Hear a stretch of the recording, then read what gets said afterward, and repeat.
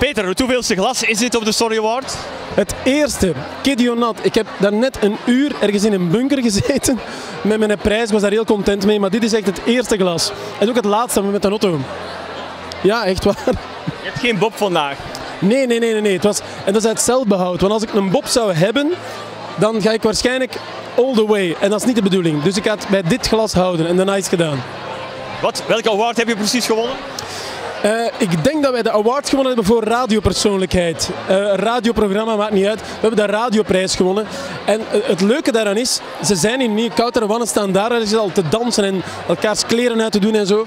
Maar dankzij hen kun je dit soort dingen winnen. En dankzij heel die ploeg. Dus ik ben heel blij, ben heel trots ook. Maak jij eind dit jaar weer een uitstapje naar Radio 2? Ja, ja, toevallig wel. Uh, ik denk 27 december. Eenmalig is dat. En dan ben ik weer terug naar M&M. Het blijft eenmalig voorlopig? Ja, ja, voorlopig wel. Wat de toekomst brengt, dat weten we nooit natuurlijk, maar voorlopig wel, ja. 2020 misschien de grote overstap?